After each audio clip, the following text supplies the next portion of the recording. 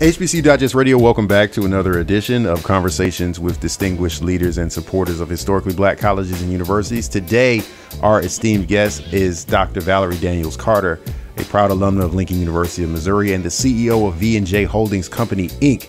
And she is here to talk with us about her support for the institution and why HBCUs continue to have so much relevance in the lives of uh, excelling African Americans throughout this country and world. So, Dr. Daniels Carter, is an honor to have you on today.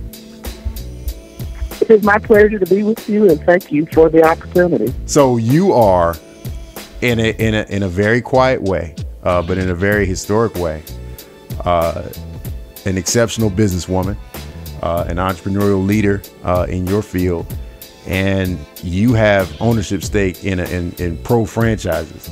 So, looking at that and coming from Lincoln University, it's not to say that it would be a surprise, but did you ever think you would be here when you were in college and just leaving college? Well, uh, if, if I'm honest with you, I would say when I uh, was in college and at Lincoln, and uh, even after I graduated, um, my expectation was high, but it was not where I am today. Mm. Uh, but I'm just grateful that um, the base and foundation that I received while at Lincoln allowed me to uh, matriculate to uh, where I am today, and I'm grateful.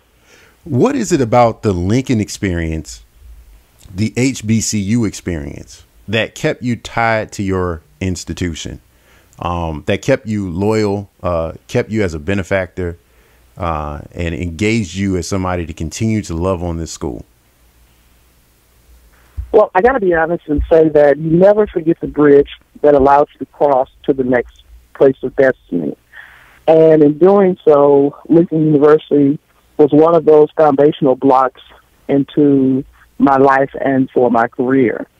Um, Lincoln experience for me was a phenomenal experience because it was a well-rounded experience. It allows you to get, gain a great education. It allowed you to meet some phenomenal people, uh, the professors and administrative staff at the school um, cared about your advancement in life, uh, and it taught you practical life lessons. Uh, I think we all can attest to the fact that uh, if you can uh, really make it from uh, freshman to uh, graduating out of historical black college, you will meet and and experience and have some of the greatest experiences in life. And uh, I still have friends to this, to this day that um, we met at Lincoln, and we're uh, connected um, even to this very day. So you lifelong friends. You gain a superior education, um, and you also are prepared uh, for the next chapter of your life. Now let me let me just ask you before we go on. So you're part owner of the Milwaukee Bucks. Those friends from Lincoln, do they get tickets to the games? you know what? Because I'm part owner, I, I try to make them pay uh, so I can continue to. That's right. We got to make money out of this deal. I love you dearly, but we got to we got to move these tickets.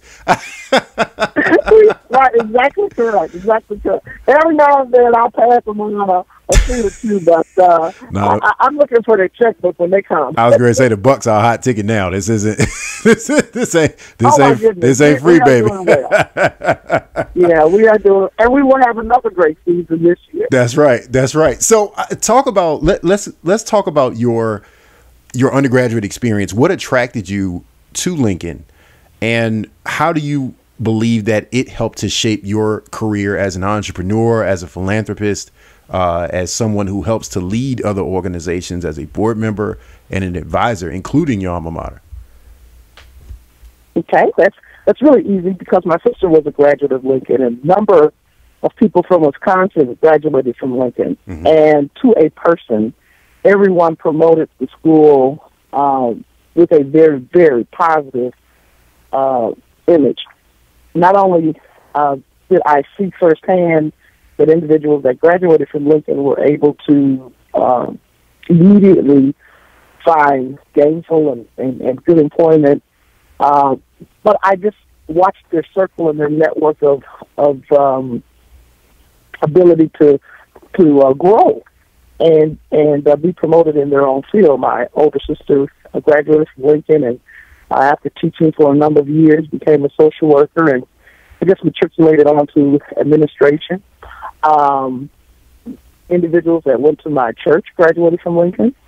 Uh, individuals that uh, were associated with our family and other family members attended. So it wasn't hard for me to make the choice uh, once I decided that uh, Lincoln University was where I wanted to go. And then once I got there, I was able to really meet some phenomenal people uh, in the School of Business. Uh, I, I just have to say, uh, was a great experience for me. Initially, I was thinking about going into pre med, mm-hmm. uh, so I was kind of, you know, vacillating between uh, majoring in chemistry or business. And the uh, professors uh, sat down and and helped me to really understand where I was best suited. And to this day, I'm grateful for that. What does Lincoln do today? I mean, it's one thing to have a, a tremendous experience, uh, you know, when, when we were students. And it's hard to, when you, you move on so far in business and you reach such high heights, that you can go back and touch the campus and say, hey, they're still making a difference. And a lot of the things I loved are still going on how do you stay in touch with the campus to know that the pulse of what made Lincoln so great for you is still working for students today? And how do you visualize ways and actualize ways that you support that that growth for students and growth of the campus? Uh, for me, it's it's pretty simple. I continue to look at the updates on the website as to what they're doing, how they're doing it. Um, a very close friend of mine is associated and uh, leads the Alumni Association. He keeps me very abreast on things that are going on. Uh, unfortunately, I can't get back to the school as often as Trump can. Right. But those that uh, I'm associated with, they go back regularly and share with me things that are going on. I went back um, a couple years back and did the commencement address for their 150th year celebration. Mm-hmm. Um, so uh, I'm well connected with those individuals, and um, I just continue to watch things that are important to me. And Lincoln University absolutely is important to me.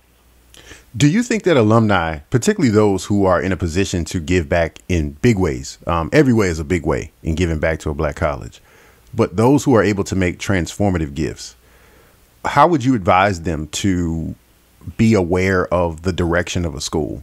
Um, because a lot of folks will say, well, I'll give back when they do X, Y, and Z. Do you think that most people have an idea of when a school is moving in a, in a positive direction? Are there certain synergies or similarities that you see between higher education, for example, and, and in corporate business um, that you say, hey, that's a healthy institution and I'd like to invest in it? Well, I think uh, staying connected to those in leadership. Uh, Lincoln has a phenomenal president, Dr. Will and uh, a very, very strong administrative staff that works to ensure that if there is a need, uh, trust me, they're not afraid to ask. Uh, and if you stay connected to those in leadership, uh, they will let you know what the needs are and they'll share with you the progress that the school is making and things that they, and the schools are always going to be uh, in need. I support some schools here in Wisconsin as well, and, and I have three uh, schools uh, that um, I support in Africa. Mm-hmm. So schools are always going to be in need as long as there is the ability for children or young people to learn. And um, you know, I I pride myself in, in making sure that education um, is one of the things that uh, we invest in, and the education of others as well as those that work within our organization. So um, I would just advise a person to stay connected with the leadership and administration, and they will certainly share with you their their their desires. With education being so important, what are one of the when you look at all the headlines about HBCUs, the good and the bad, what is it that gives you the most optimism about black colleges? Not even just Lincoln, just black colleges in general. And what is the thing that causes you the most worry about the future of black colleges? I think the, the most encouraging thing is that um, there are individuals that have benefited all across this world from historical black universities, and they are stepping up and supporting their alma mater, or it doesn't necessarily have to even be their alma mater, but supporting uh, individuals that attend these universities. Mm-hmm. Uh, the most concerning thing, uh, to be honest with you, is I don't think that the level of excellence is promoted high enough. Because if you look at the individuals that graduate from uh, just a number of these schools all across the U.S., they are some of the sharpest. My, my son's a graduate of Morehouse. Mm-hmm. Um, my niece is a graduate graduate of Spelman, and they've recently graduated within the last several years. Mm-hmm. They're graduating, and, and so I've had the opportunity to visit those campuses and network with those young people. Um, often I'm going to other universities and just speaking um, on campus for different reasons in the School of Business or uh, doing leadership programs with some of the young people. I got to tell you, I just don't think we promote it well enough and we showcase um, the talent that these schools are developing and grooming for our leaders of today and tomorrow. So that would be if something I could if I could uh, wave a magic wand and say what would I do differently, I would showcase the excellence of these young people. We have a program here in Wisconsin uh, that I'm a part of. Um, was started by my oldest brother uh, called Fellows, and they take um, young men, young African American men, and place them in certain universities and, and help them with their educational um, desires. Uh, and they, you know, give them scholarships to go to school. Mm-hmm. And if, if they would profile that instead of profiling some of the negativity, I think America would see how sharp uh, these graduates from these schools really are. What you've made millions um, as a as a food company executive, right? And you're the, you're the CEO V and J Foods. It's very well known all over the place. One of the things that when you talk to business folks, they'll say that small businesses, and particularly minority owned, we don't really invest in the marketing communications function because we're trying to put resources in other things to help our business grow. So, from a corporate perspective, how have how did you effectively help to promote V and J, and is that something you think that could translate over to HBCUs? I think it's important for us to get the message out. Mm-hmm. I'm not an expert in marketing, so uh, I have individuals that help and support me in that area. you pay them um, to do it. That's right.